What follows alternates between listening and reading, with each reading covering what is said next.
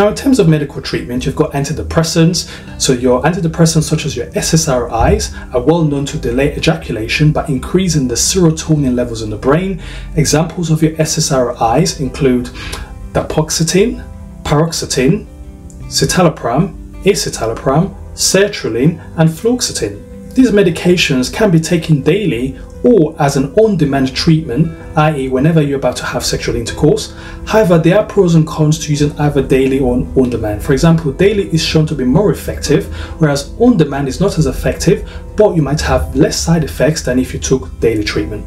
In terms of on-demand treatment, the most ideal SSRI to take, which is actually licensed for premature ejaculation, is called dapagliflozin, which is also known as Priligy, which is a brand name in several countries. However, it is not approved in other countries and you might find that you might need to take an alternative to Priligy.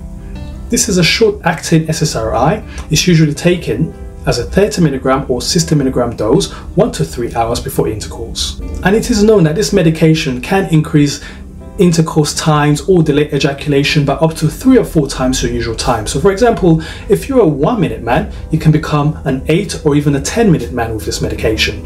Now, in terms of alternative to dapoxetine, for those who are not able to take it for whatever reason, or if it's not available in your country, the next best option is to take paroxetine, which has been shown by studies to be the most effective SSRI when taken as a daily treatment. This is usually taken as a 20 or 40 milligram dose with the effect seen within two weeks. Now, in terms of the side effects of SSRIs, they can actually reduce sexual libido, which means that you might not have the desire to have sex. They can cause nausea, vomiting, fatigue, sleep disturbance, and all other symptoms. So medication is not always ideal for everyone to take. And some people are a bit worried about taking antidepressants, especially if they do not have any anxiety or depression. Now, I hope you enjoyed this video. If you like this video and you want to see further similar videos, please feel free to share, like, and subscribe.